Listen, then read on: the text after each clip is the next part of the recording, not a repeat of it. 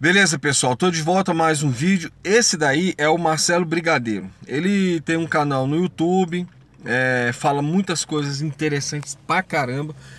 Ele, em relação ao governo, é, tem sido um apoiador do governo e ficou muito feliz com o discurso do presidente Bolsonaro lá na ONU. Eu analisei também o discurso do presidente, pontuei o que é, eu achei que não está no mesmo compasso, né, é, com os interesses da população.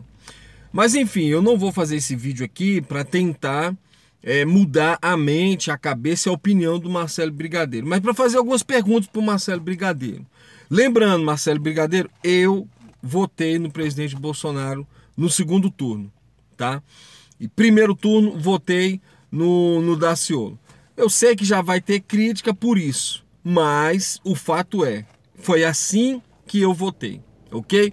Segundo turno, Haddad e Bolsonaro. Bolsonaro com certeza foi a minha decisão. Ok, beleza.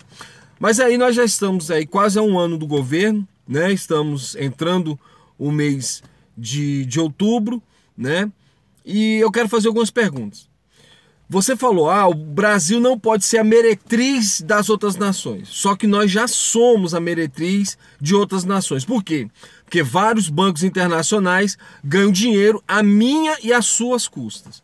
Porque nós ainda pagamos a remuneração da sobra de caixa para os bancos. Então, primeira pergunta: para ter esse choque de ordem, por que, que o governo não para de pagar juros da dívida, juros é, para banco?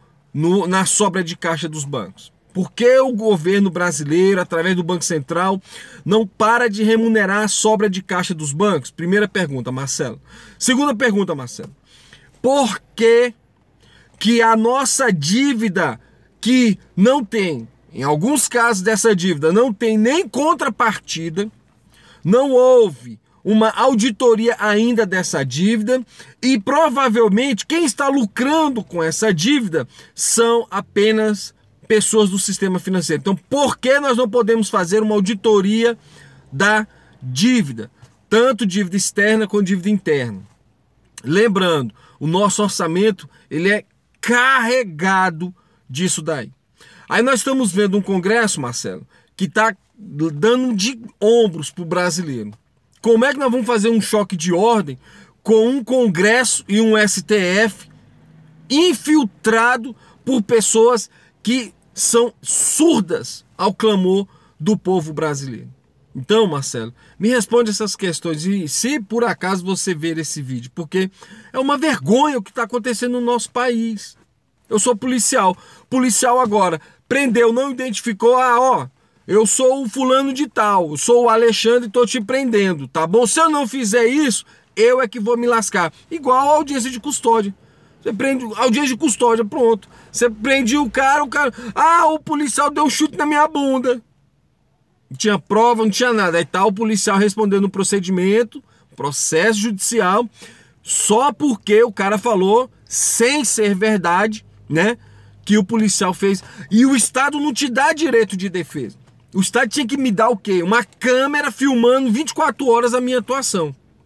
Você, não sei se já teve nos Estados Unidos, eu nunca tive a oportunidade de estar lá, mas até indico para você um canal no YouTube chama Policy Active Policy, atividade policial.